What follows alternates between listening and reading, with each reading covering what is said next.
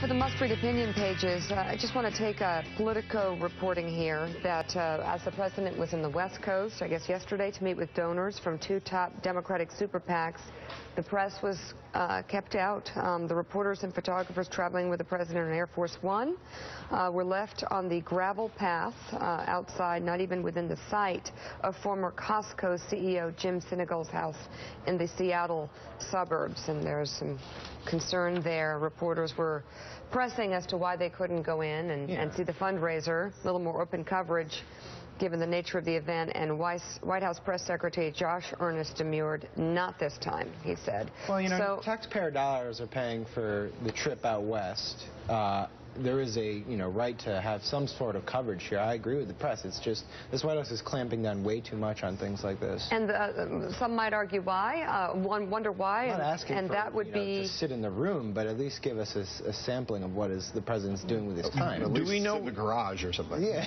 do we know? Gravel path. Do we know what portion of the president's trips for fundraisers are paid by the Democratic National Committee? a portion is paid by the. You're right. A portion is paid by the DNC. They they say that you know they they siphon off that stuff.